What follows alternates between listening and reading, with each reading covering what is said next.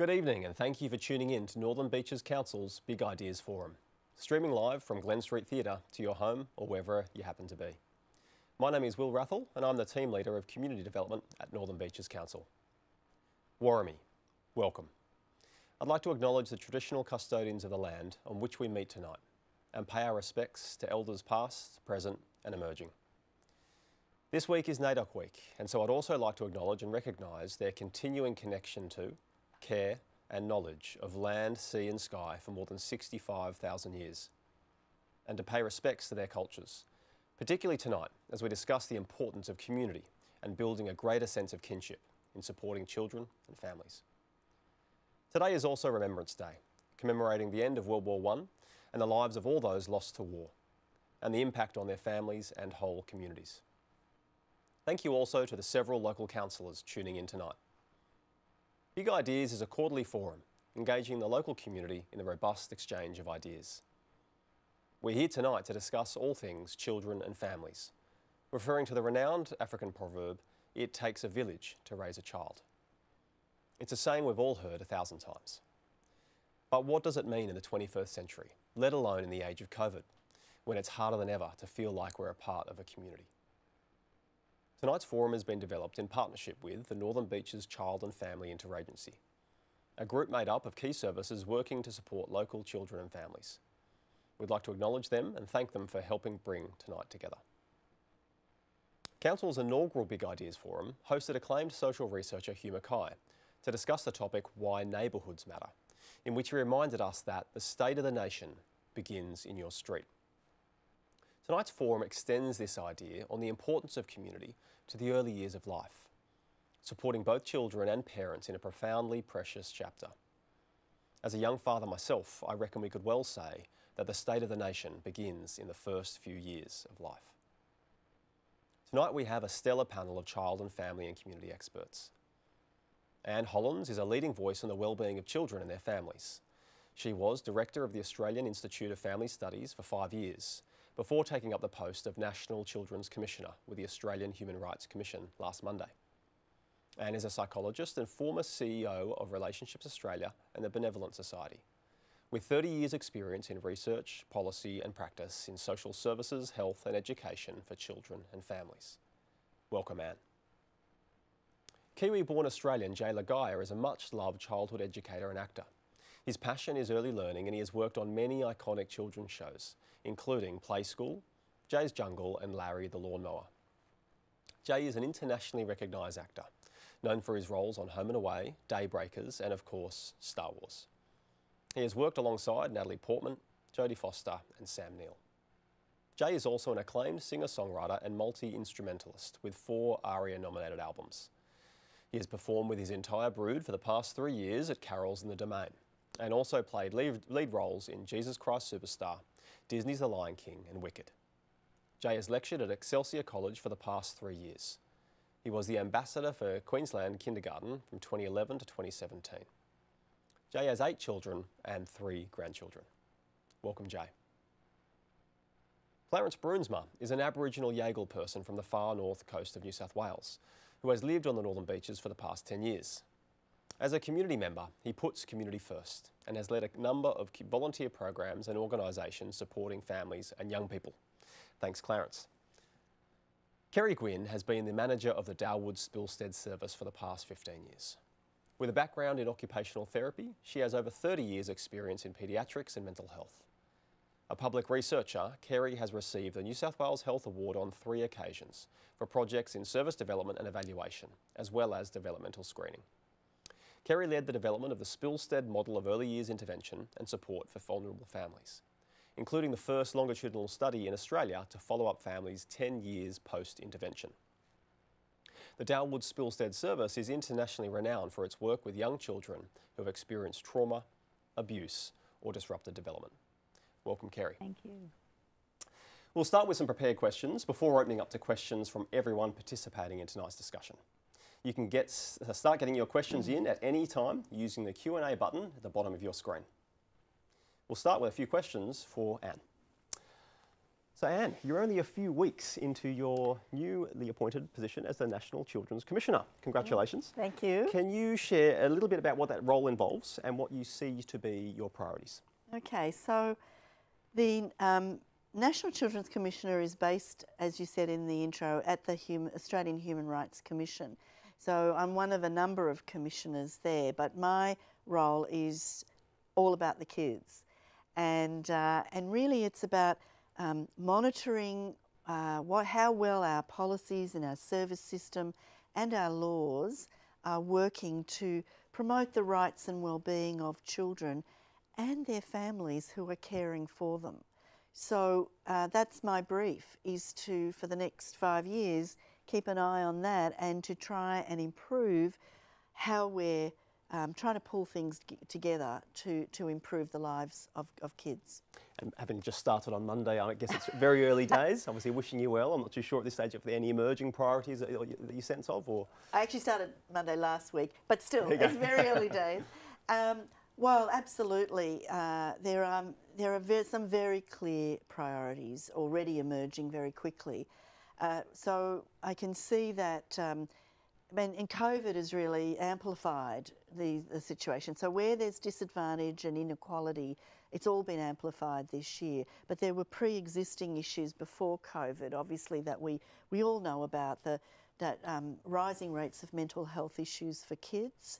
And, uh, and we know that some kids are doing it really hard. You know, First Nations children um, um, overrepresented in, in um, out-of-home care, and um, juvenile justice systems. And despite all of our attempts in, in the past, we haven't been able to make progress on that. And I think that's a lot to do with the fact that we focus at a too low a level where we're not listening to communities enough to, to actually change the systems that wrap around families right across Australia. So, so my brief is actually is national. Mm. So I'm really looking at all, you know, education system, health system, social services, um, family law systems, all mental health systems, all of those systems that touch the lives of kids.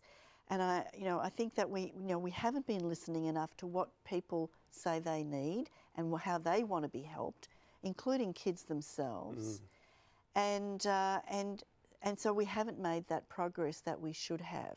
Mm. And I think a country as um, as prosperous as Australia we can do, be doing a lot better for our most vulnerable children in particular. And you know what? One of the things I've really noticed in the last week, uh, as I've done uh, talkback radio and that kind of thing, I can hear already that I think the Australian public really wants things to change for the better. Mm. I think there is a real sense of momentum in this. We, you know, we it, it breaks our collective hearts to see kids suffering in the way that we hear they are. And, and, and when we hear these news reports of a, a, tragic incident or something terrible that happened, you know, we tweak the system here or there, but we kind of go from tragic incident to tragic incident. We've got to lift our gaze above, I think, and actually change them, change things at a systems level. Mm. Thank you, Anne. Previous to your commissioner role, you were the director of the Australia Institute of Family Studies. What did you learn from your time there? And what bearing does their research have on the topic tonight, focusing on the role of the community in supporting families? Well, I, I was such a privileged position to work with a hundred, you know, really smart researchers and uh, doing work uh, that is is about building the evidence base to support the policies and the services we need for kids and families. And uh, I learnt many things. I learned to value evidence. We, we need what we need to do needs to be supported by evidence always, uh, and then we need to keep ensuring that we're building the evidence of what works. Uh, but most recently, we did some work at the Institute on how families were faring during COVID 19. Mm-hmm. It's a survey called uh, Families in Australia Life During COVID.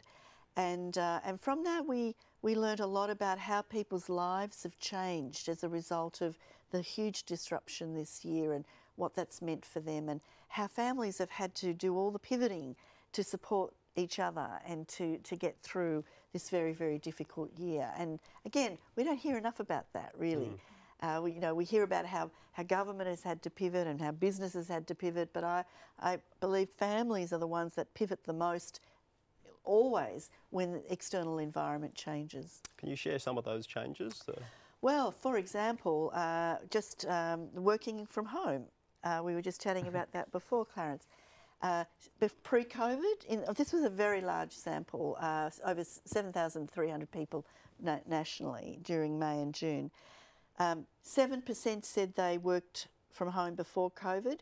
Post the start of the pandemic, 60% working from home all of the time. Mm. So that's just a huge change, and it really all happened overnight, as we know. And it's meant that people have had to um, very much adjust how they live and work at home. And of course, we're homeschooling, caring for littlies when when everything closed down. And it's been really tough. Mm. Yep. And as we start tonight's discussion on It Takes a Village, what do you see as some of the key themes that we might want to explore tonight? Well, of course, we know there's a very strong body of research that shows that we all do better if we have uh, support around us, whether that be family or neighbours or friends. In fact, we need multiple layers of support. And those people who are close to us they're actually more important in some ways than services, and I'm using, you know, mm. quotation marks here. We spend a lot of time talking about services, and they are important. But um, when asked, uh, people will tend to say, you know, 80% of them will say, where, you know, when you ask them, where do you turn for help if you have a problem? To family or friends. Okay, mm. and we understand that. We're no different. Uh, we want to go to someone we trust uh, and that, you know, we feel um, confidence in. Um, but of course, what we can do as family and friends is then help people to find professional services if they need it. So mm. really um, specialist help that's, that is available, but often people don't know where to go mm. to get that help. But that front line, your first line of defence is your family and your friends and your, and your neighbours. Mm. Yep. Thank you, Anne. Jay, a few Hi. questions. yeah. Play School has been on the air since 1966, so over 50 years.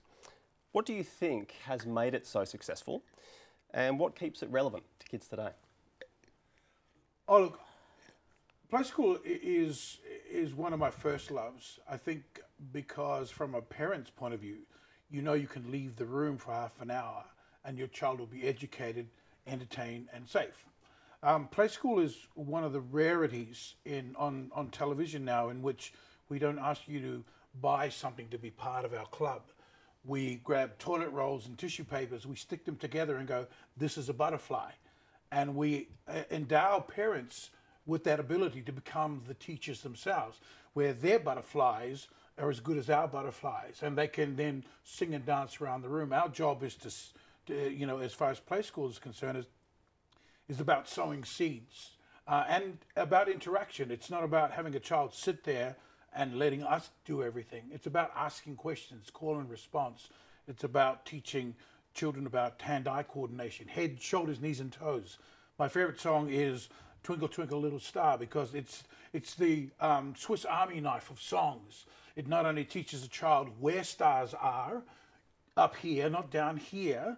They twinkle and they sing. It's a hand-eye coordination. It teaches them how to sing um, not only so, it teaches them sonically what they're listening to, uh, about communication between each other. It also teaches um, teachers about going, uh, children aren't here to judge you as a singer. They just want you to participate. And I've had lots of educators who come and go, oh, I don't dance, I don't sing because I'm not a really good singer. And I've, got, I've never had a three-year-old come to my show and go, you know, you didn't hit that C really well. And, you know, they just want you to participate. Yeah. And if you say no, then what's wrong? You know, mm. so from I think from play school's point of view, um, play school is an enabler. It allows children to play. It, it, allows children to go on adventures without even leaving the room. Mm. But I think for me, the biggest thing that play school has taught me is to play, is mm. to be mm. able mm. to stop being an adult and find that inner four-year-old. Mm. We did discuss actually that we might be getting behind these chairs shortly to do some puppetry. Um, and my, two-year-old daughter's favourite song is Daddy Finger uh, ah, by, by the right. Wiggles, of course. Uh, so, yeah. Now, you're a grandfather of three. Um, as rub it in. well as a father of eight, so I'm assuming more are coming. You're clearly a busy man. How do you manage the balancing act of family and uh, busy schedule? Well, I've always said that my social media is a lot busier than I am. It's all about timing. Um, but look, you've got to you've got to answer the call. At the end of the day, as a parent, Um, and that's what I am. You know, a lot of people look at you and go, you do this and you do that. Um, there are a lot of people who do amazing things like doctors and frontline nurses. You know, they do a lot more important things than I do. You know, but I happen to work in the public eye.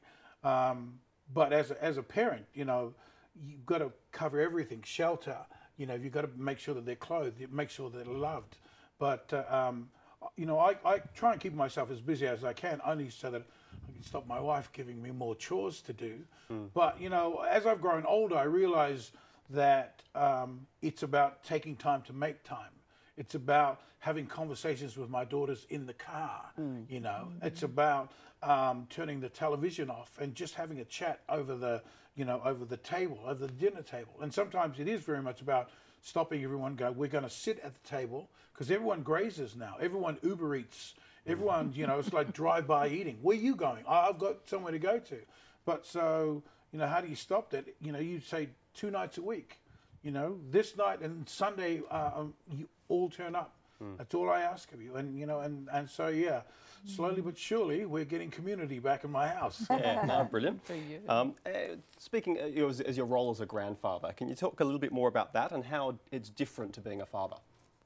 Look, I think the in Polynesia we have extended families where our grandparents are part of the storytelling. They're always part of the narrative because. Um, I always say to, to grandparents or people who are grandparents, you know, we are there to support. Um, it, as much as we want to say, I told you, you know, we're there to support, but you also have to understand that you have done your, your, your teaching, you have done your support.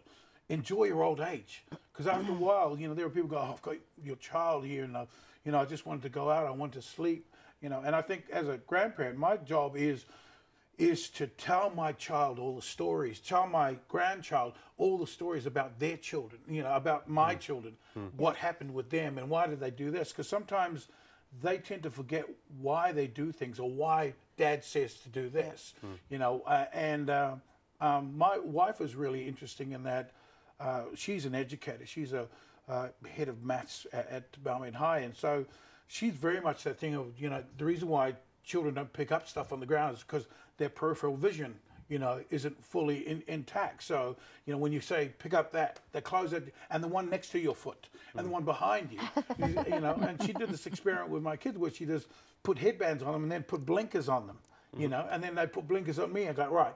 And you spend most of your time going, oh, right, okay. And you realize that you know that child isn't greedy when they're playing on the football field. They just don't see the person next to them. so you know, you know, I I love being a, a, grandparent because you can tell all your stories, you can impart all your wisdom on your child, um, and then you can give them back, you know, and you can watch them grow.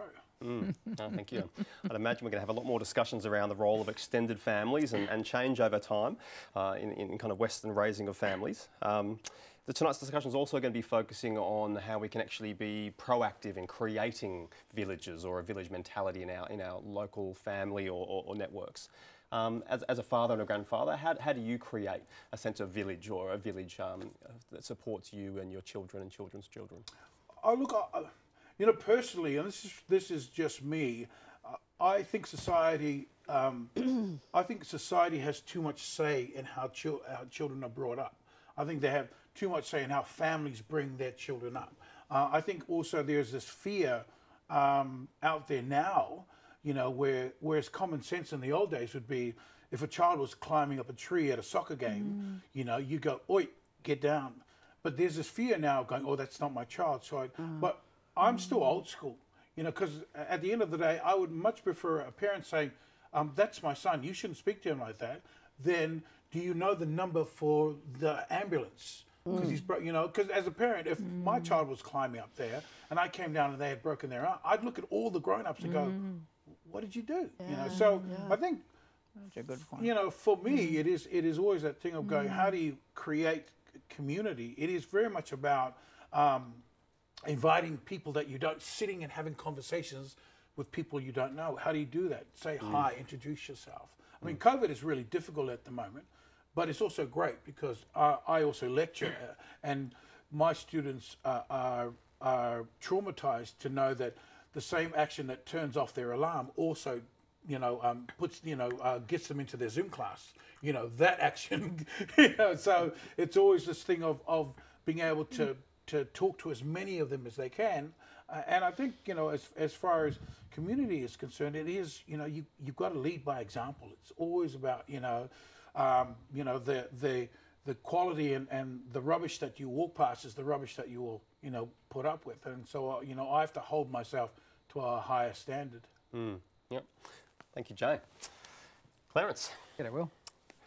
Can you tell us a little bit about your work with Connected Mobs? Yeah. Um, mate, it's, um, I guess, it's one of those things that are drawn out of um, actually one of my elders of the community, Annie Lois Birk, which I'm sure people in, uh, around the place might not, might know of her, particularly on the Northern Beaches. And um, you know, she sort of mentioned how we need to get community back together. Um, that we have this Aboriginal community in the Northern Beaches who very much, um, I guess, dis- disconnected, um, and that's just being uh, you walk past, and I guess most people think, oh, well, what does an Aboriginal person look like? Well, you look at me, you know, you might say I'm actually South American rather than Aboriginal. And so, the, you know, we walk past each other not realising that how many Aboriginal people live in this space but actually don't know other Aboriginal people. So, you know, Lois said uh, we, we need to bring our mob together and we need to be able to share culture with each other. And when we're sharing culture, we're looking after each other because mm. our culture is about respect, it's about healing, it's about looking after Mother Earth, and, and at the core, founder, uh, core of all that is bringing up our young ones. And so, um, you know, I, I, guess I was just an instrument of my auntie's. Uh, he was happens to be, um, you know, really close to my mother, and you know, they're born on the same day. Um, and you know, she lived up the road, and I've always had a profound respect for Auntie Lois. But you know, she's um, just using, I guess, she used me as a tool to get some people together, and my word of mouth, and I guess maybe some of my motivation. Yeah. yeah so it's um, it's been wonderful to just bring people together and it's a really uh, informal opportunity where people come down to. We've been meeting at Narrabeen Lake um, on a, you know generally on a fortnightly basis. COVID's changed a lot of that up, um, but coming down, people bring their own plate of food and we share culture, talk story, share dance, sing song. Um, get out our you know boomerangs and throw some boomerangs around as we do. to teach our kids how to throw a boomerang. Mm. Uh, teach them how to weave. Uh, through all that, there's all story, there's all song and dance, and all that has meaning around caring for country and caring for each other. Mm. And um, yeah, so mate, it's just I'm, I'm just lucky enough to to be a part of it. Really, mm. yeah. Excellent. Mm. No, that is great to hear. And obviously, hear about the role of sharing local cultural knowledge. Mm. Um, obviously, particularly focusing on families, how families benefit from being embedded in community. Can you talk mm. a little bit more about that? Well, um, oh, I think the opportunity when lies, um, we're talking about neighbours and how, um, um, Anne, you're referring to, you know, how your neighbour and your, your family and friends are, are sometimes your first point of call. Um, sometimes, I guess, for Aboriginal families, uh, they're living off country. I'm, I'm, a person who lives off country. I'm a Yaegl fellow from the far north coast, living down here. Lucky enough, I knew my auntie Lois Birk, but only the other Aboriginal person I knew here on the northern beaches when I first came. And there's many other Aboriginal people in the same boat. And I guess one thing we as Aboriginal people really strive for is um, connection to our culture. And when you live off country, that's really hard to do. By, by having those connections with other Aboriginal people, other families who mean well and want to help you, it means that you've got a support network who's immediately around you. And, and, and when, when the chips are down and you're struggling, um, you know, we've had a number of different incidences throughout the community and times where just community come together by, by a cooking nightly meals for that family, coming in and painting the house, coming in and doing the cleaning or helping the ki- just get the kids out of the house for the day. And, and that's just people who, for maybe a year ago, six months, or even a month ago, didn't even know each other. Uh, but to then just move, um, you know, um, move heaven and hell to make sure that family mm. felt well and felt safe and felt loved and valued. And I guess you know that's the foreground of you know talking about, talking about people like Marnie Lois Birk, um, Auntie Claire Jackson, um, uh, Auntie Carolyn Glass Patterson, mm. Auntie Susan Moylan Coombs. You know they've, they've really just been instrumental women in in making I guess what community should look like and feel like. Mm. And I, I, really feel sometimes um, our First Nations people. I refer to you, Jay. You were talking about Polynesians. I think we, we, we're, it's really entrenched in, in our cultures that we get around each other. And no matter if, if you, I guess it's, you could be just that you're Aboriginal, we'll get around you and we'll support you. But it doesn't, doesn't stop there. If you want to be a part of our community and you're an Aboriginal person, you're more than welcome to come be a part of that and we'll help you just as much. But I think it's something we as, as a society can really um, bring in and really use and, and, and, and enjoy. And, and really, I guess at this point during COVID, um, really could um, em- em- embellish into you know our own healing. Mm. Mm. Yeah. No, thank you. And um, just one, one Oh, final sure, question um, about how, how is culture significant to community and identity? Um, So I guess I was sort of talking on it before, but um, I guess so. Culture, um, culture. When you're talking Aboriginal terminology, I guess it, it's really broad. It's song, it's dance, um, but it, it's connection to country. It's uh, it's it's place. Um, because when you talk about song, um, we talk about dance. When you talk about those stories, they're connected to a place and, and also a time. But each one of those, um, I I- they, they teach you values in life. And unlike, um, I guess, uh, not, not too dissimilar, sorry, I should say, into what you might say, I guess, the Ten Commandments within the Bible, it's really just ways of living, ways of being healthy with each other, ways of being healthy with, with, with, um, within community and connecting into country. And so, I guess, culture for, for us as Aboriginal people is everything. Um, when you have the opportunity to connect with culture, and, and, you, and I guess as a, as a person, it really fills your heart, it really fills your stomach, and you, and you feel um, wholesome. Uh, we, we long to be back home on country, but as well by having those great connections to this country and where you live and with the Aboriginal people around you, it can also make you feel really wholesome. So the culture for us is, mate, is uh, second to none yeah, in terms of our health and our Yeah. well-being. yeah, yeah. Mm. No, cheers, Clarence. I look forward to exploring a bit further. Kerry, can you tell us a little bit about the Dalwood Spilstead service and its unique model of early years intervention? Oh, thanks so much. Great. Well, it was great to be here. And I, I guess the thing about our service that it is unique. Um, we and we only really exist because of the incredible community support we get through the Northern Beaches people. Uh, we sit on that site at Dalwood, and we're really the evolution of the old Dalwood's homes, which was all charitably funded. And I think that support has given us the opportunity to to develop a model where we can really help families who need that extra intensive support. Most of the families are referred to us by professionals when they're saying that this family needs more than what mainstream education, mainstream health, and those mainstream welfare services can offer. Uh, and, uh, you know, commonly they'll be families who are very isolated in their communities, mostly single parents, mostly parents who are dealing with their own mental health issues or recovering from addiction or, you know, family violence and dealing with stress that is really hard to manage as a parent. And what we what we do is we try to focus on supporting families who have young children because we know there's a double whammy, isn't there? It's really a hard time to be a parent when you've got little ones in the early years. But it's such a crucial time for the mm, kids, mm. isn't it? It's so important for all areas of their development, but what we know is particularly their emotional resilience. Uh, and we've been really fortunate, you know, because we've got that community support. I guess one of the things about sitting there at Dalwood in a nice facilities and a great community is we always felt there was a, a sense of obligation to be able to be doing things really well. And so what we did is just look around the world at where are those, as Anne said, those really evidence-based practices? Where are those approaches that are used that are best practice? And what we tried to do is look at them all and integrate them into the one place. And I guess the model we've developed that's, you know, we've been really thrilled as we've researched and demonstrated works and we've got some interest for, in Australia and overseas is basically a village model, hmm. which I think is really on topic here tonight. And, hmm. and it's very relational, and all we've done is create this one stop shop. Hmm. We provide as many services for both parents and children from the one team. I have to tell you, when we first set that up, everyone said that was never going to work. You know, and you'd imagine that the expertise needed to work with adults might be really different from the expertise needed to work with very small children. But um, oh my goodness, it works. And uh, as you can imagine, it works for lots of reasons. I think the first one is, you know, we're dealing with families who are in a hell of a lot of stress. If you want to reduce stress, you want to make it easy to find help. Finding help can be stressful. You know, anybody who's looked for a new dentist hmm. knows how hard it is. Where do I go? Who do I start with? And you know, when you're stressed, Hairdresser. hairdresser, good work.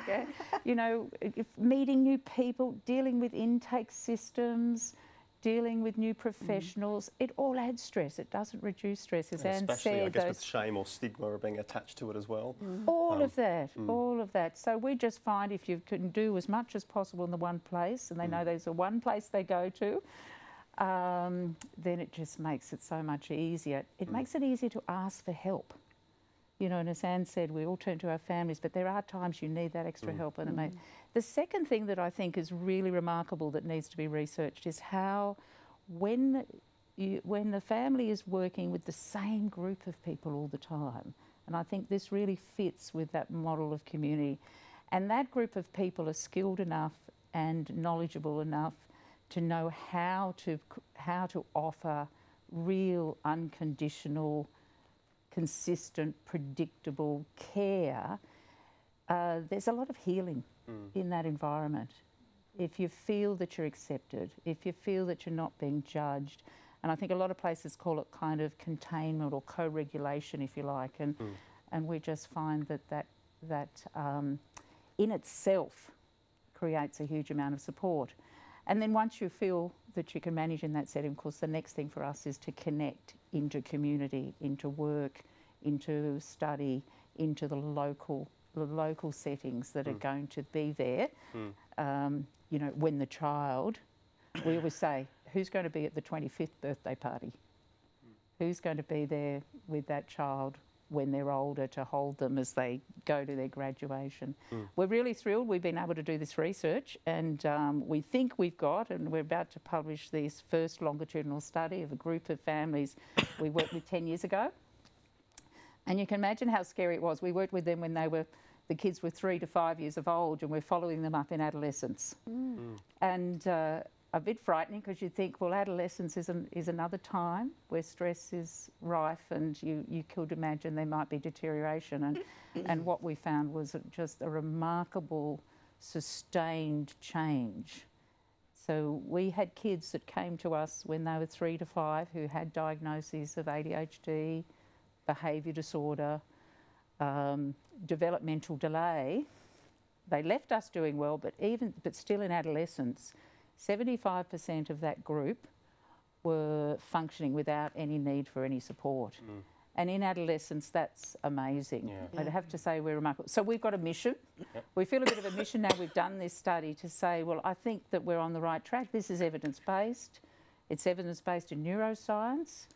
Um, it's evidence based in terms of the relational support, and uh, we're keen to spread the word about this approach. The other thing I think I'll finish with is really help, really important too is we're cheap.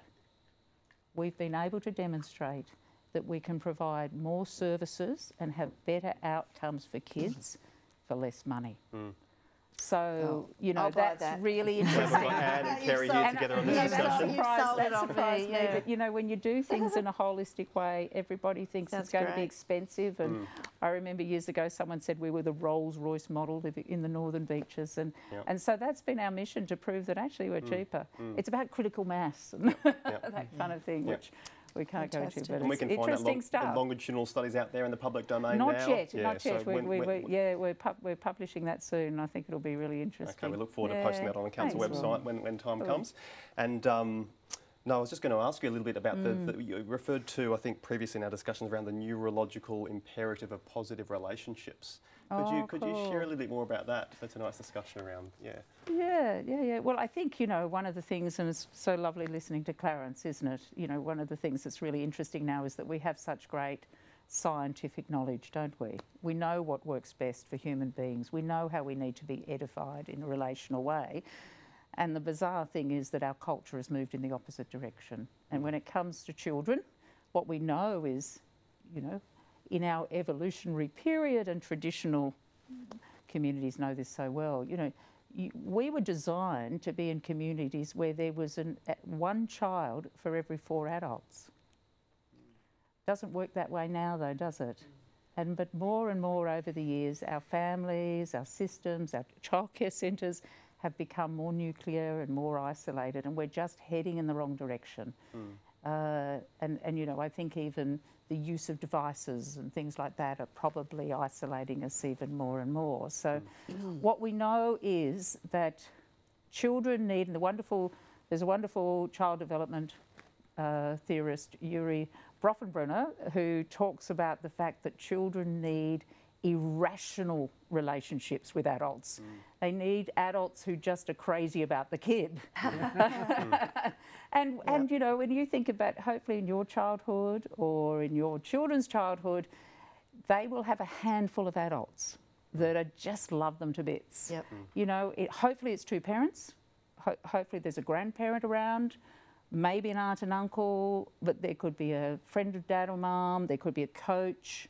You know, that kind of grandparent that has their favourite vase.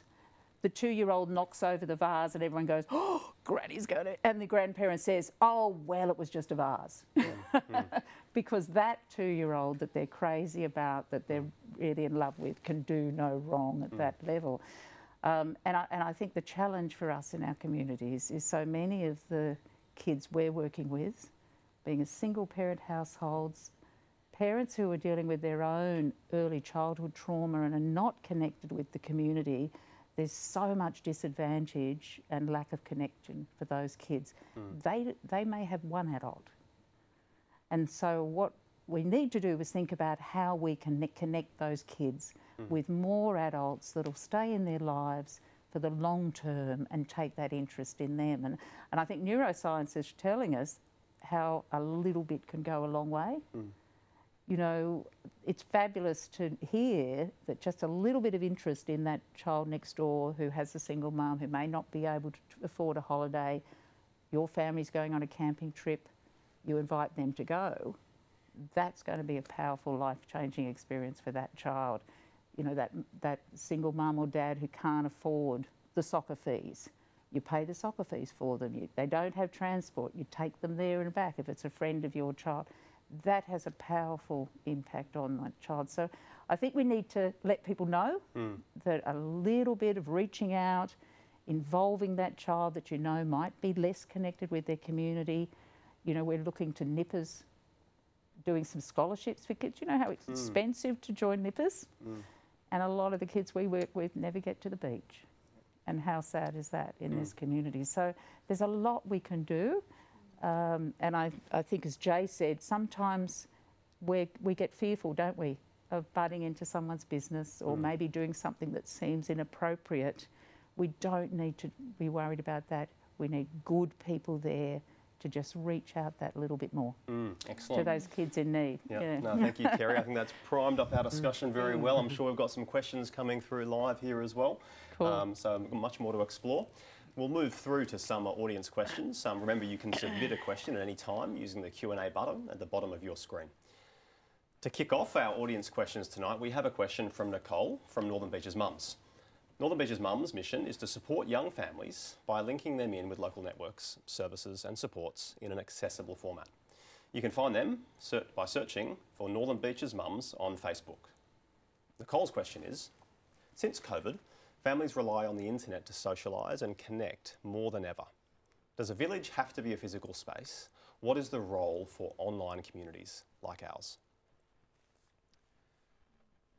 I'm, I'm, looking left and right, thinking who I'm going to pitch that to. Um, gosh, Anne, would you like to kick us off? Well, hi, Nicole. Uh, thank you for the question. It's a really good question because mm. really we have to accept that the online world, we all live in mm. the online world now. We do and our kids do, and uh, it is part of our lives. So it's not a one or the other.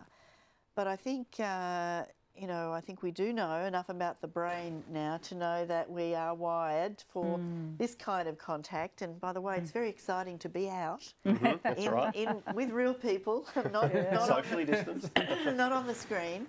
I do a lot of my work on the screen these days. Um, but that we, you know, as humans, that's how we are wired, and so that is important. So, Nicole, I would say that it's both. Mm. You know, you the online community is important for helping people know how to reach each other, but then to have some face to face to face contact as well. Excuse me. Mm. No, I know my wife's on Northern Beaches Mum, so thank you, Nicole, yeah. for what you're doing with that group. It's incredibly popular, and I know she finds it incredibly useful in terms of accessing information, uh, particularly for you know our, our, two young girls. It goes a long way. So she doesn't engage individually with people, but the access to the information is critical. Um, and I guess it's been for her, it's been connecting through the, the mums groups, through the local health centres and hospitals. It's been the really best face to face Yeah. operation. And I'm I'm obviously envious as a man to think, where's the, where's the fathers groups? You know, I, was, I remember when I had little kids, and um, so I'm a mum and a grandmum now too, Jake. Rock on. You're rock on. totally with you, brother. Um, uh, but I, I was very lonely, you know, uh, and I'm, you know, from the Northern Beaches, and I, I remember feeling really, really isolated. Um, and then now my daughter has had two little boys, and uh, and so she's connected as well online, and and you know I think it can really, really help. So the what the work that Nicole and her group are doing is really valuable, I think. I- It's really interesting because uh, you you bring up. I I came over in '95 to work on a, a Channel Nine show, uh, Water Rats, and my wife brought a young two young children with her. We didn't know anyone. Um, they joined a play group, and she said she was sitting there with playing with the children, and one woman approached her, introduced herself. They sat down, had it, and then the next day they saw each other and they had this chat, had a coffee, and then she introduced her to her inner circle. 25 years on, I'm emceeing that child's wedding. You Oh, know, wow. it's That's it, you know it, it, the lovely? importance of, of that. And Yeah. to answer Nicole's question, personally, um, uh, it for me it has to be a physical space. Uh, as far as the village is concerned, online is great when you're having a one-on-one conversation. Yeah. But fr- from a from a child's point of view, it also has to be tactile because that's part of the senses that they use. Yep. I always look at online being a wallpaper. You know um, that it's it's background noise as such, and also it has to be limited because children are quite happy to to to disappear into that void and let other people entertain them instead Yeah. of them um, discovering how things work. You know, so you know every now and again I, I find when I go visiting preschools and that I'll sit down with a box of Lego and then we'll all have this conversation about people that I don't know. Because Johnny said that, I went, oh, so how is Johnny? He's good. You know, I have no idea who these are. But, you know, it, it's about, you know, creating this conversation. And, and, uh, and I think that, you know, that you're right in that these, these groups that form, you know, it is about, you know, um, reaching out to those who are lonely or who, you know, have not yet been introduced. Mm. You know, that's what I love about the idea, you know, and once you open up and have a conversation about your child, something that we all know, all of a sudden it's about my child has this cough. Does anyone know? Oh yeah, he my child had a mm. rash like that. Well, you've got to do this mm. and you've got to do that, but also seek medical help, which is always great. Our next question is a video question from Northern Beaches Young Citizen of the Year and local environmental campaigner, 11 year old Dia McNamara. Hi, my name is Dia McNamara, and this year I had the honour of being the Young Citizen of the Year for the Northern Beaches. I love being part of the Northern Beaches community.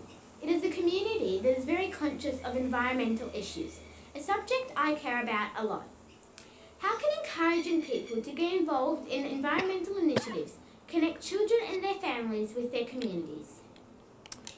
Oh, well, thank you, Dia. Thank you for that question, and I might um, put that over to Clarence even first. Uh, thanks, Will. Um, and thank you, Dia. Uh, great question. Um, you know, uh, environment. Um, when we when we talk about environment as Aboriginal people, that's that's mother. That's that's where we're linked to. That's where we're born from. Um, so when we think about caring for the environment, we're caring for mother, and when you're caring for mother, you're also caring for all our totemic, I guess, creatures and animals um, and, and, and plants that are that are connected to us um, and our beliefs. But um, how, how do we, how do we, uh, I guess, build that village or those, those community connections through um, looking after the environment? The, um, I really feel and I see a real opportunity in the community gardens, and it's something that um, I've really wanted to push in our little area within the in the Narrabeen area. That I guess through we know through having your hands in the soil, the the, the mental um, um, benefits from just having your hands, but as well as the nutrients you actually gain from ha- playing in the soil yourself. We also know, I guess, you, you, you do get um, there's germs, etc. But those germs can be healthy for your own development. So by, by placing your hands in the soil, putting a plant in the ground, the, you also have that sense of, I guess, um, of positive um, positive self that you're giving back to something that not you. But as well as you also have the great conversations of other people around you, and you can have and have, I guess, a great interaction without even having to speak with people around you by just putting plants in the ground and, and, and shifting soil and you know sometimes finding a worm and screaming if, you, if it's, it's something you're scared of. But uh, but I, I see community gardens. Um, you know, the, the, I know there's the um, Northern Beaches cleanup.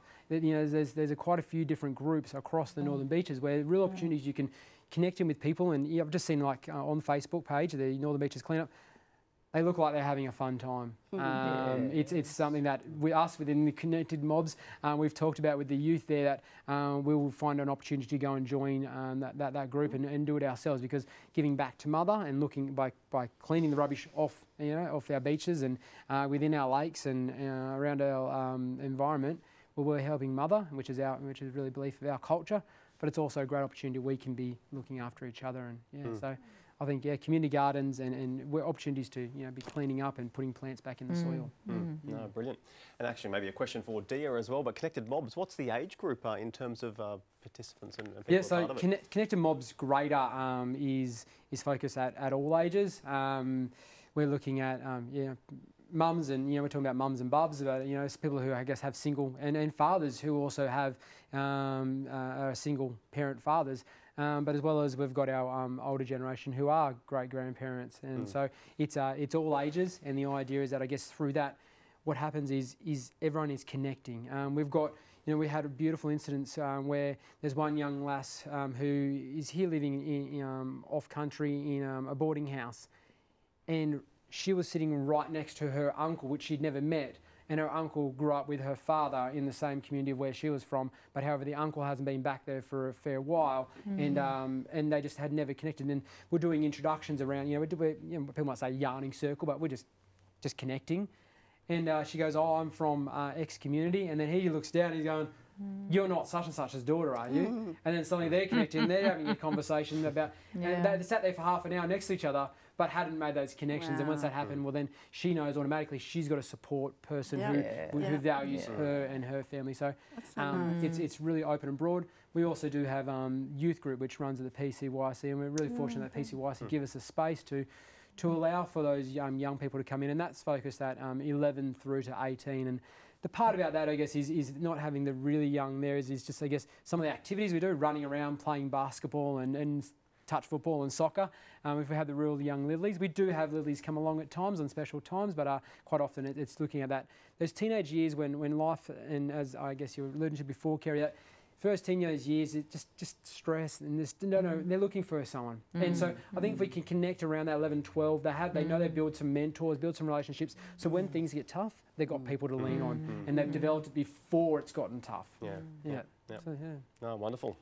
Thank you. It's a great picture, isn't it? Like we are talking previously about uh, extended families and multi-generational setups, so that you got that real sense there through through that gathering of, Mm. of the generations sitting along side by side with each other, and, And something that it- happens less these days. Yeah, and, and taking up that message that you're talking about, at the end of the day, how do you become a community? Or it's about parents teaching their children about, you know, um, putting rubbish away, about recycling, about using this instead of that.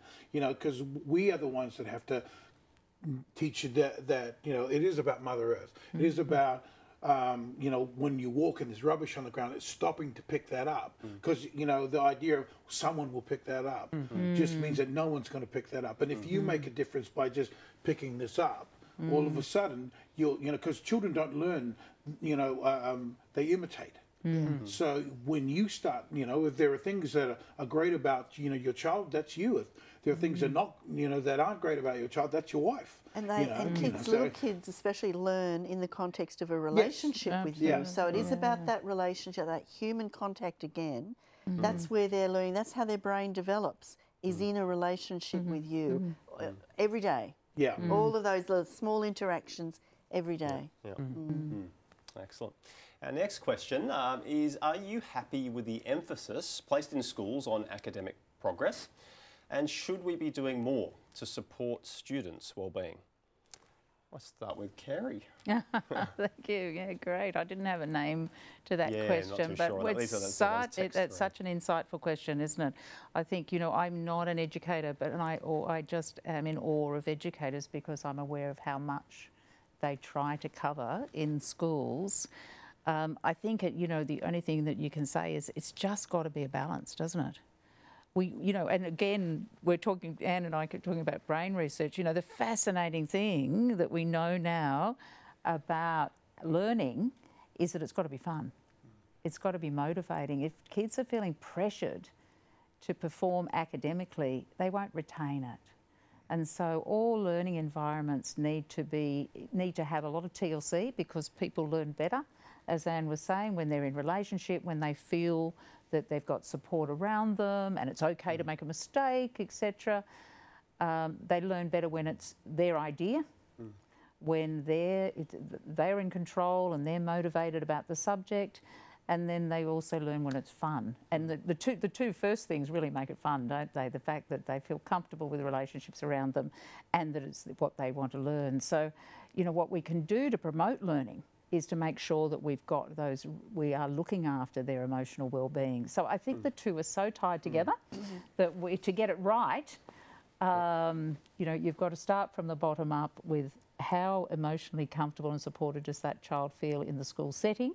how motivated are they to learn, uh, and then the academics will just mm. flow because mm. they'll be working at their best. I think, can I just say though that I think, and particularly now with the economic downturn, oh, a lot of mm. we as parents we're very worried about the future for our yeah. kids, and uh, and you know the financial future for ourselves or, and for our kids. And yeah, so I think yeah. that uh, there's a lot of anxiety for parents, and and so I think mm. parents can find themselves sort of really wanting the school to to kind of push their kids mm. to achieve because of that anxiety about the future.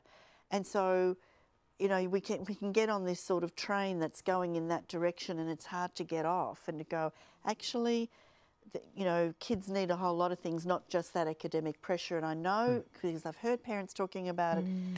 even in just the last week, about how um, so many kids are being in high school, later years of high school, being diagnosed with anxiety and depression, and that these rates are going up.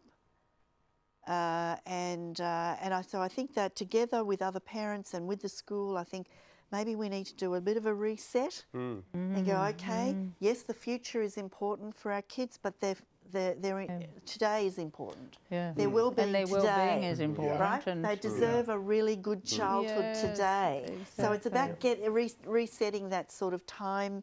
Uh, the thinking about the future versus the mm, present for mm, kids. And I remember in Absolutely. previous discussions we've had around schools and, and trying to connect uh, young people and parents to services. We've talked a little bit about the, the notion of getting more services in schools. Oh, yeah, could you yeah. talk a little bit more about oh, that? Well, yeah, look, this is a bit of a hobby horse of mine. Um, so I know that in other parts of the world that uh, are doing um, better than Australia is in, on, on many of these things, they actually integrate their health services in with the education yeah. services so that they're, you know, like in the grounds of a school, there will be um, a family health service. And so we know that for the people that really need help, they're the ones that are least likely to get the help because of the fear of shame or stigma for saying, I need help, right? But if, but you know, everyone goes to school, everyone goes to the GP or goes to a health service. There's no shame mm. or stigma in visiting one of those places mm. and put them together. And, and I think there's a whole lot that you could do by um, uh, uh, making the services easy to reach for the mm. people who need it the most. It's, it's a strange thing because, Absolutely. I mean, uh, growing up in New Zealand, we had a dentist at school. We had a dental yeah. clinic that was at school where all the kids would go, everyone would go through, and it was probably the, the only time because you know uh, um, those who couldn't afford a dentist mm. would would go through. Uh, you know, you remember the you know those things, those little white buds you put in your mouth would turn into bumblebees and hanging all over the place. But you know uh, that was the norm for us, and then. Yeah it disappeared because you know people had ulterior motives as such, and I, and I do agree that the idea of, you know, the, the problem with, with schools is simply that, you know, you've got a, a horse and a snake and a stick and a, you know, and a kangaroo and they're all lined up and school goes, I want you to get to the end. First one there wins. It's not, it doesn't cater for everyone. You know, um, in America, they teach driving, you know, at, at schools you know, why don't they do it here? Because our mm. kids have to learn to drive. Why don't they do it collectively so that, you know, it takes the pressure off parents? So I think, you know, I think there has to be a balance, especially with well-being, especially with with uh, uh, suicide in schools now.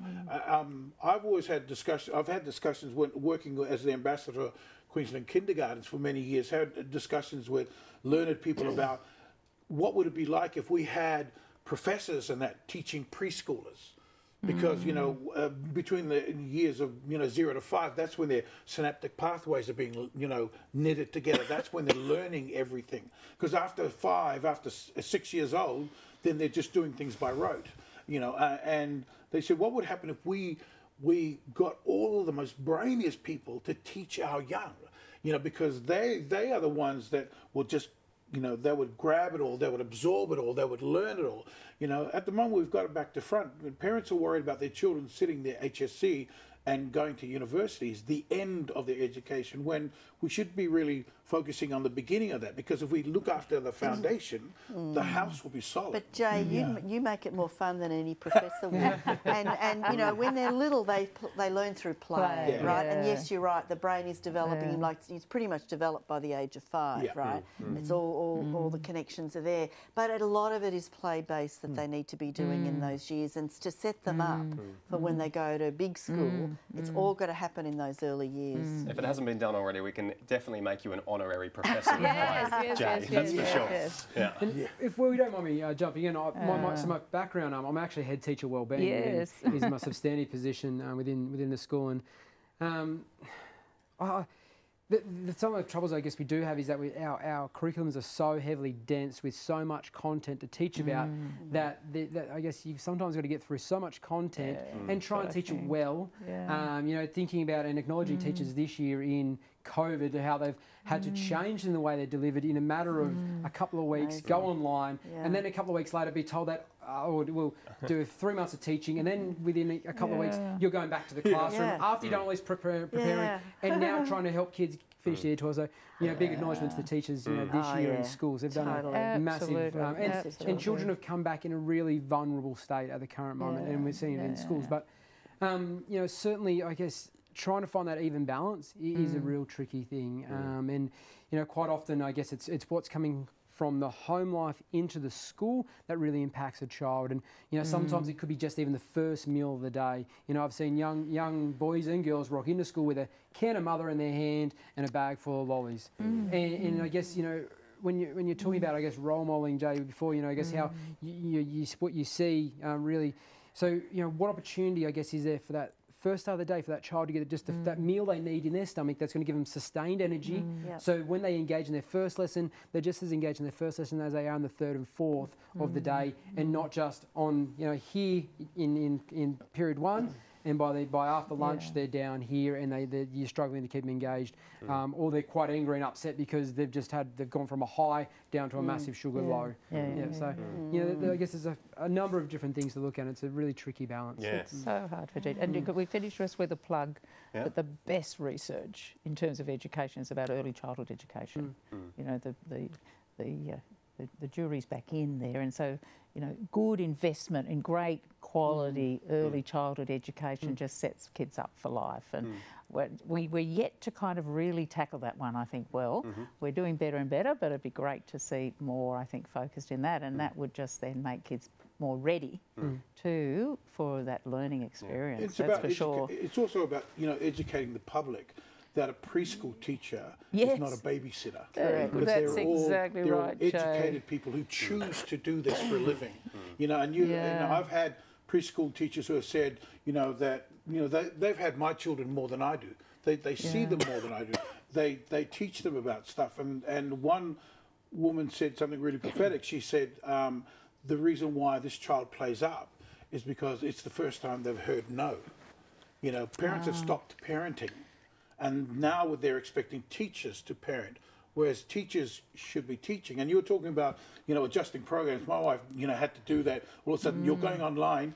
You know, make up this this program for all, you know, seven, eight, nine, ten, all those years, and so they have to do that. Not only do they have to do that, which is hours upon hours upon hours, they don't get paid for it. You know, you know that's that's the thing. Mm. So, you know, in the end, I think the message is, you know, if you got to invest in, in, in our young people. You've got to invest in our, our teachers hmm. because they're the ones that are you know growing our future. Hmm. Yeah, hmm. absolutely. Take those points on board. Now we have another video question here. So this time we're going to hear from Michelle Pover, who works for the Family Referral Service. Thanks, Michelle. Good evening. I am Michelle Pover and I work for the Family Referral Service. We link families with a child and young person under the age of 24 years old or women who are pregnant to support services such as family support teams, counselling, housing services, and much, much more. We can support people over the phone or face to face. My question tonight to the panel is what do you think is the most important thing a community member can do to give children the sense that they belong and matter in the community? Thank you. Good night. Thank you, mm. Michelle. The most important thing. There we go. I might want to hear it a very short snippet from all of us, really. I don't know, Jay, do you want to, want to hear a brief few things from um, yourself? Oh, look, at that, it's a it's a broad question. For me, it's about sm- uh, smile. You know, it's that thing of hmm. going. If you have a welcoming facade, uh, it allows a child to, uh, you know, not to fear you. Um, that you are open to have a conversation. Hmm. You're open to approach. Hmm. Yeah. Many things can start from a smile. Thank you. Any other thoughts there, Kerry? Well, I think you know the thing that comes to my mind is, well, we're we're all so busy now, aren't we? Hmm.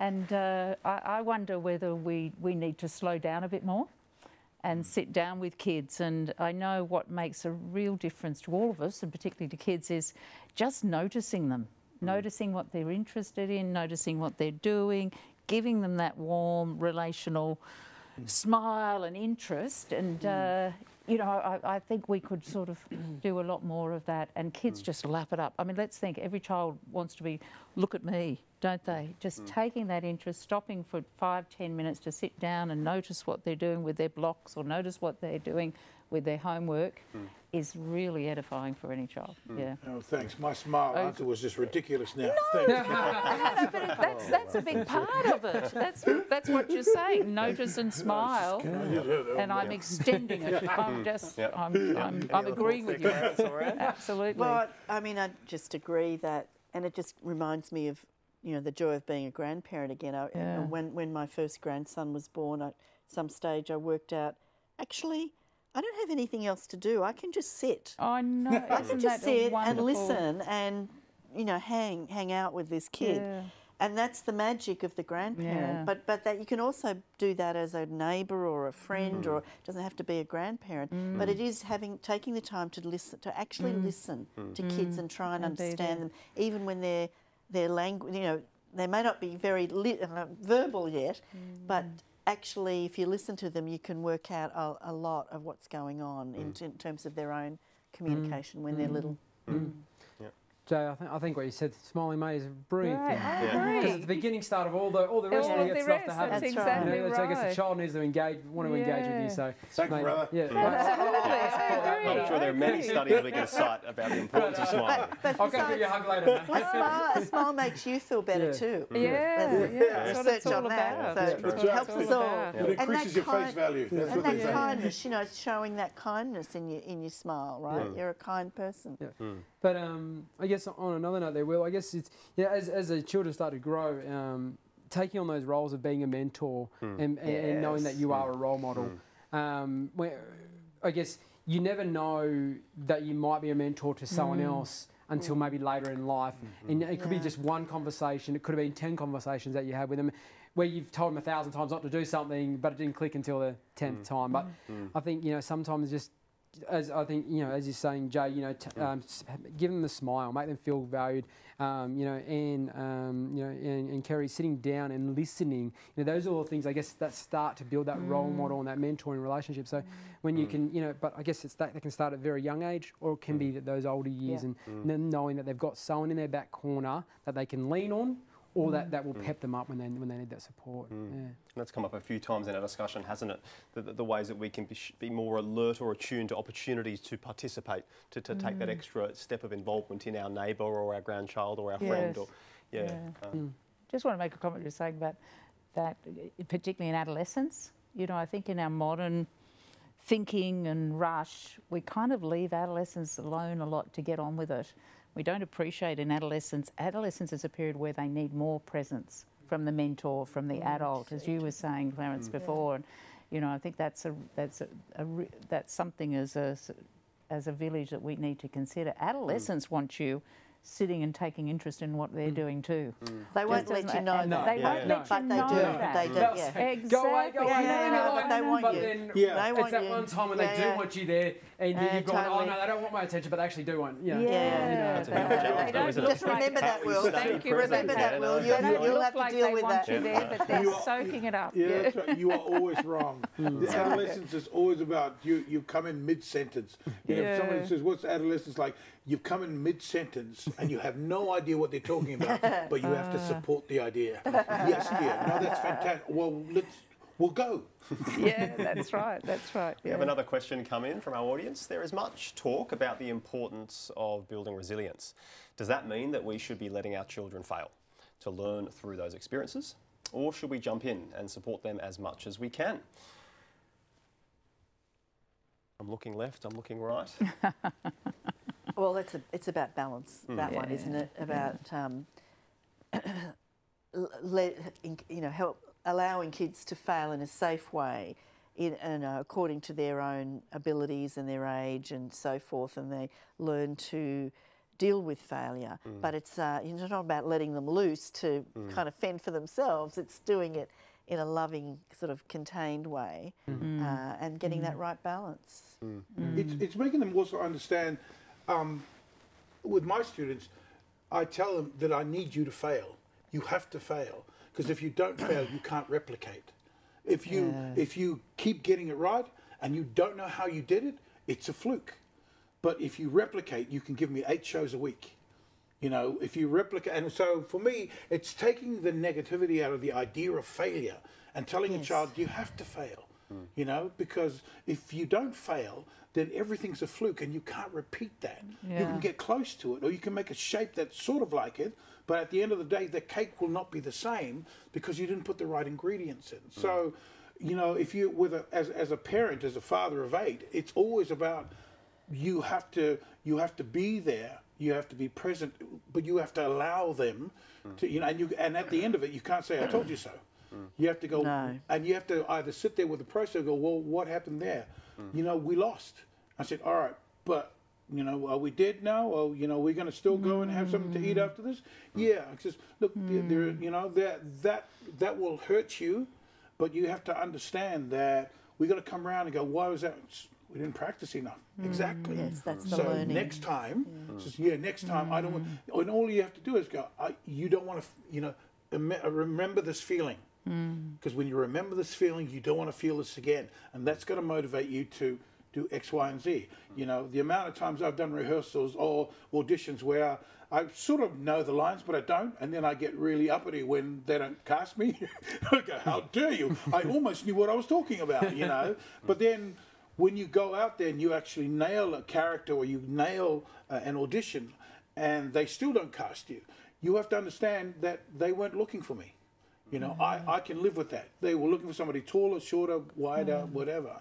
And and so in, and in this case, you go, it's okay to fail. It's it's all right. You know. I think talking about uh, the importance of role modelling, I guess we can role model our own successes, but this is where role modelling our own failures Yeah. is perhaps such an important thing. Are we willing to actually share and make ourselves vulnerable about our own failures? Um, I think it- I was listening to a podcast uh, this this weekend, uh, just going by, and I, I wish I knew her name, but it's a lady who made spandex. so I can't remember her name, and I wish I did. I feel really bad for this, but um, she said every time she came home of a day, um, her father would say, "What did you fail at today?" Ah, So to get used to, I guess, you know, quite often, I guess, shelter children or young people about, I guess, the, the, the, the, the notion of being scared of failure and putting your hand up and going, oh, I'm going to get it wrong. Or rather, her father was saying, have a go Yeah. Mm. because Yeah. failing, what did you learn from that? And, Yeah. and, Yeah. and don't be scared of it. Don't feel down mm. about Yeah. the fact that you mm. failed.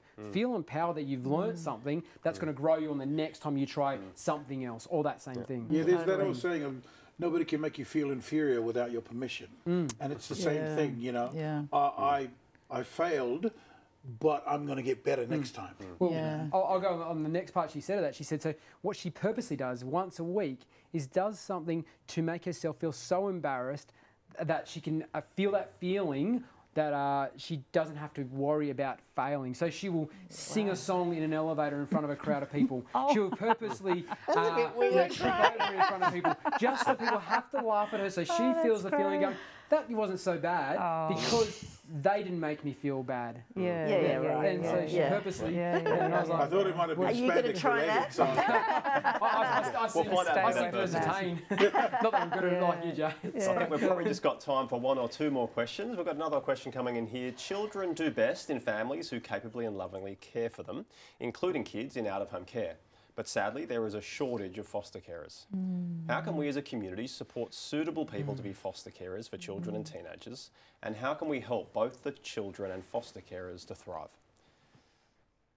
I'm turning to Kerry here for this one, but I'm Thank you. welcome yeah, any input. Yeah, cool, cool, cool. Yeah, no, we, we uh, one of a, a side branch of our service, we work with children in out of home care and foster carers, and uh, you know, we know, don't we, how challenging this this world is in foster care and out of home care, and uh, you know, the challenge is they're the, the neediest children in our community.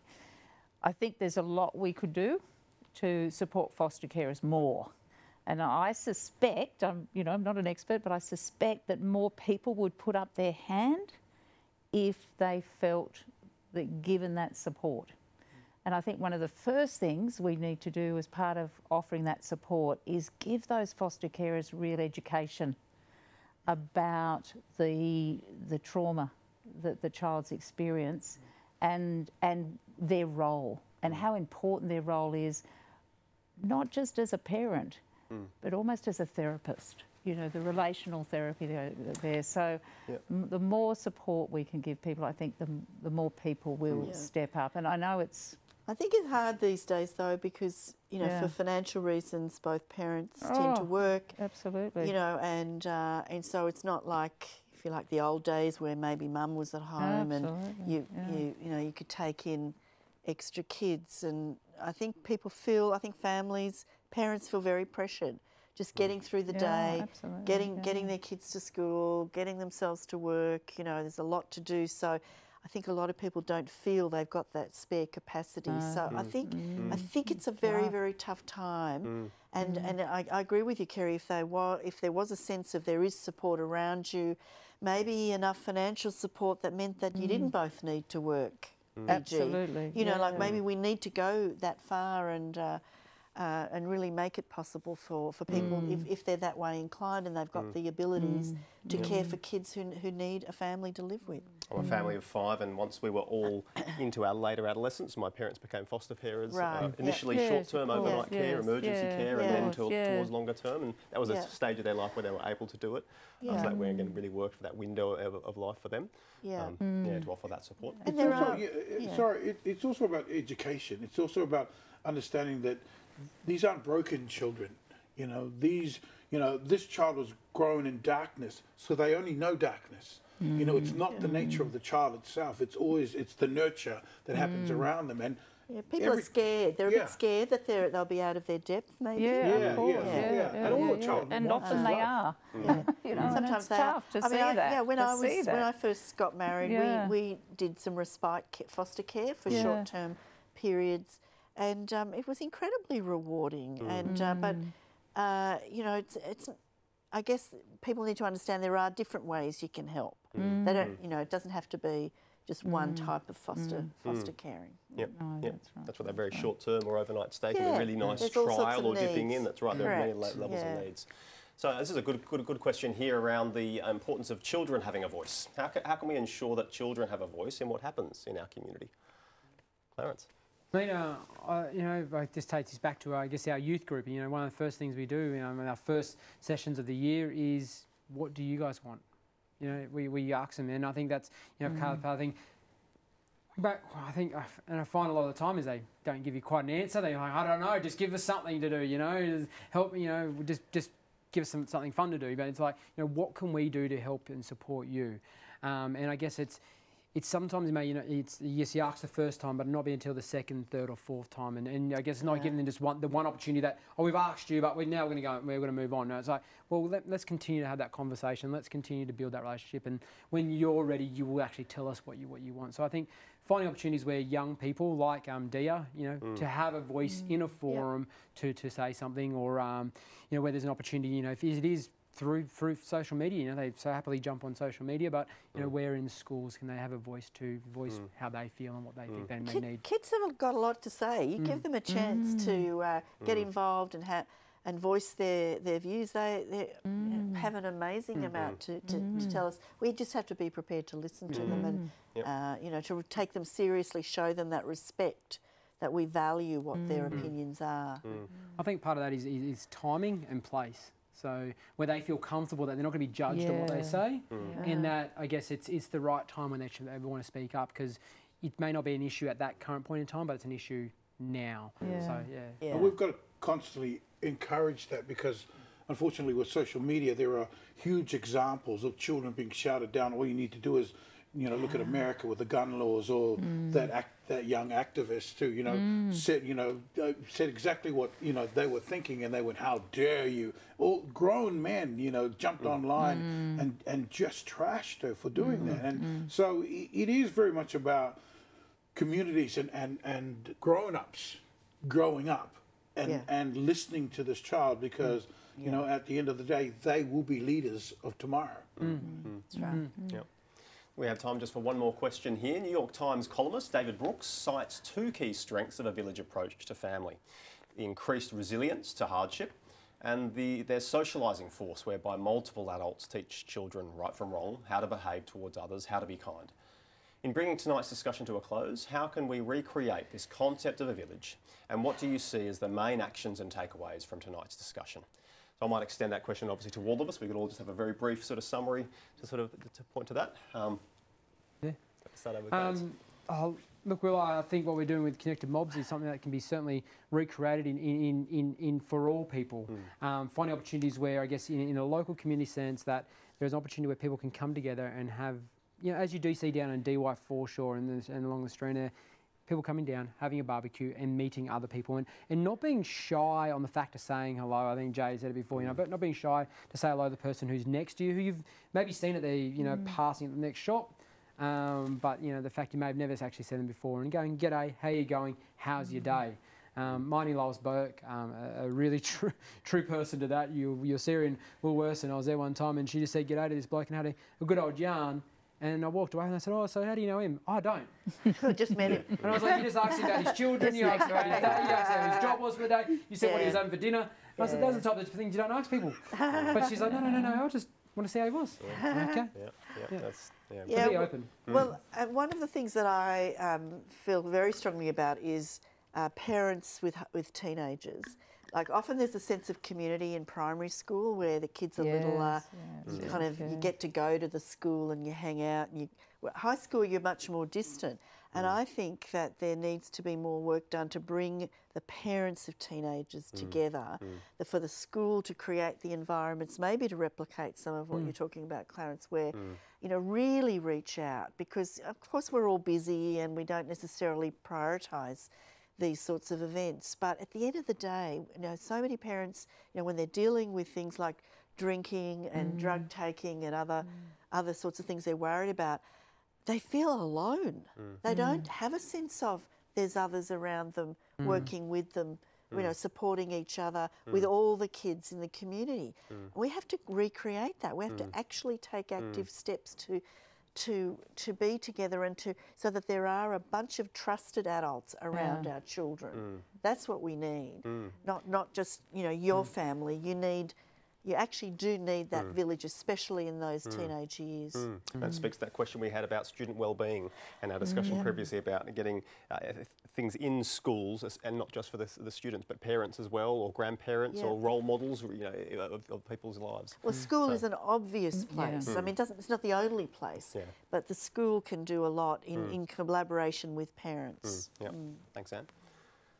Yeah, I agree with both of those comments profoundly. And I think just picking on, on something else that Anne said before, you know, if we can think about sort of hubs, isn't it? You know, using the school community as a hub and places where f- people feel naturally comfortable. Hmm. Is the, you know, the early childhood health nurse there? Is the GP there, as you said, dentist there? Then we create places and where people might you know, reach out to each other, have those conversations, and and uh, spend some more time together. Mm. And I think sometimes our planning hasn't let us do, has let us down in Absolutely. that way, and mm. it's a shame in Australia because we've got so much opportunity to use school settings and preschool settings next to schools are just perfect, aren't mm. they?